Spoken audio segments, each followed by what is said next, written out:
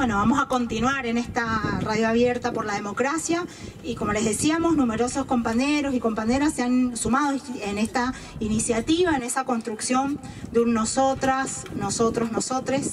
Buenas tardes, estamos eh, en la Plaza de la Memoria, acá en la Universidad Nacional de Cuyo, con una actividad que llevamos adelante desde FADIUN. Después del intento de magnicidio contra nuestra vicepresidenta Cristina Fernández de Kirchner, participamos el día viernes de la manifestación que se realizó frente a la legislatura, pero creímos, eh, por lo menos así lo evaluamos la mesa ejecutiva y la comisión de delegados y delegadas, creímos que era importante poder reflexionar sobre, sobre qué es lo que pasó y cómo llegamos a, ese, a, este, esta eh, instancia de, violencia hacia una figura representativa máxima de nuestro país, como es la vicepresidenta de la Nación. Eh, ¿Cómo llegamos ahí? reflexionar cómo salimos y en qué contexto estamos de la lucha nuestra por nuestros salarios eh, y, cómo se construye el, este, este discurso de violencia y de odio.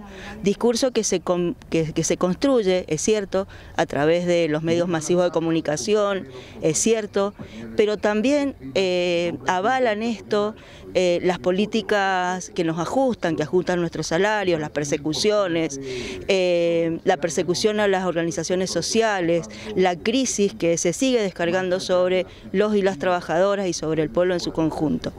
Eh, en ese contexto es que resolvimos hacer esta actividad donde podíamos escuchar diferentes voces y así nos han llegado mensajes de distintos lugares, eh, de distintos países incluso, eh, solidarizándose con, con la actividad, transmitiéndonos sus mensajes.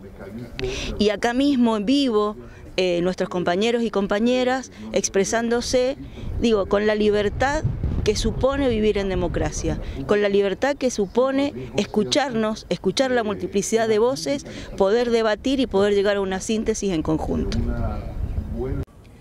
Es preocupante observar que en esta autopista de la democracia por la que están transitando, comienzan a advertirse señales de desvío que son alertas que invitan a la reflexión.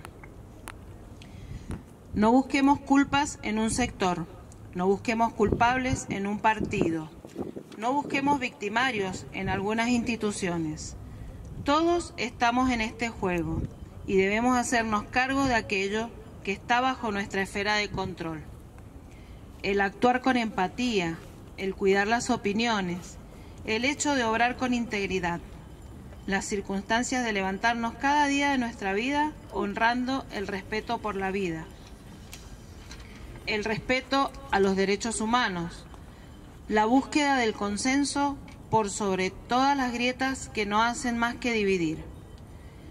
Creen paz. Si van a usar la palabra odio, que sea para odiar a la violencia.